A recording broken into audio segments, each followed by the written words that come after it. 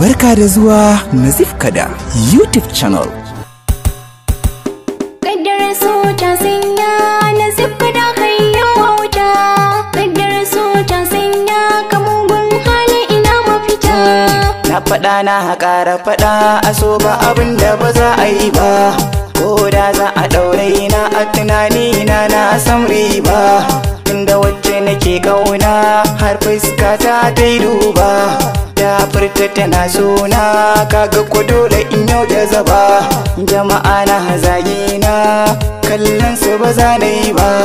Na san mai zagi na bai san menene so ba. In ya ce ya san so ba na gaske yake yi ba. Sawa a kashe kai in baka gane ba. Naga wacce ta rasa abin so aure ba za ta yi ba. Wani yara ta yi kansa a zariya ba wai nesan ba. Gana hannun yan sanda ban sanya za a yi ba. Jama'a suna cewa kashe ni za a yi ba wai ba. Waɗansu suna cewa zan fito ko ba yau ba.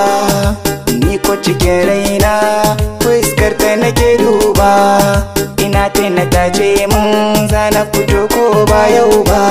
Daɗi ke kama ni duk da ba lalle ne in sha ba.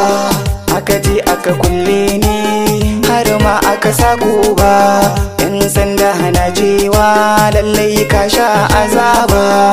Ciki aka kulle ni kwana biyu ba wasa ba. Kwana na ukun aka ce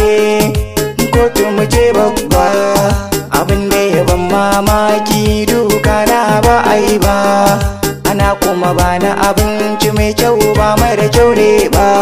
Yau gani ga alkali ranar farko ba wai ba.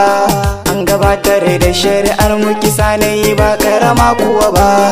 Alkali ya ce ma yaro dan baba na zifka da kai ne kai kisan kan ko ba kai ne ba.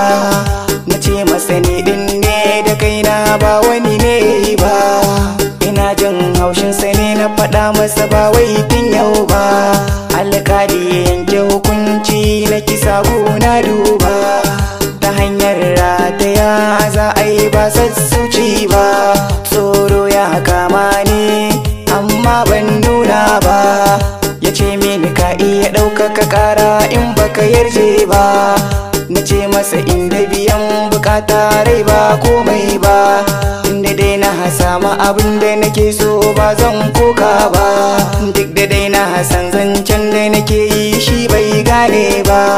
Aka sani cikin mota ido ɗaure muka hautar ba. Kashe ni za a tafi idan ba zan ƙara kwana ba.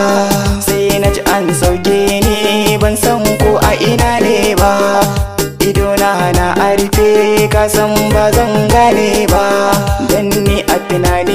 daji ne ba wani gunne ba.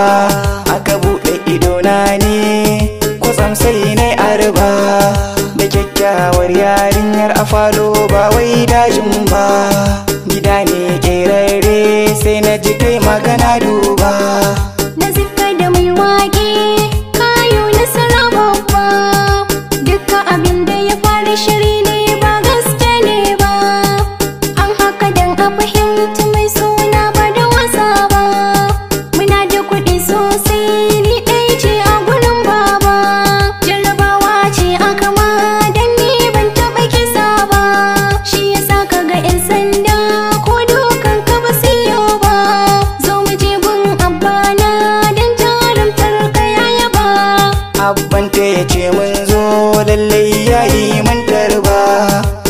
Ba za ka yi komai ba auren ku ba zai wuce sati ba.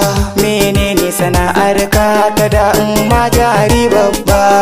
Waka sana'ata harfin ma ban ƙyale ba. Sai na garan shi ya ɓaci tamkar ma ba shi ne ba. Ya ce na yi alkawari ba zan baiwa mawaƙi ba. Dan na tsani ne wake ko me fim ba kaɗan kuwa ba.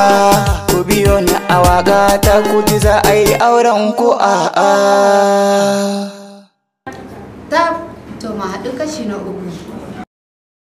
Danna subscribe, kana ka danna ƙararrawar sanarwa domin sanar da kai da zarar mun ɗora sabon shiri nazif kada youtube channel.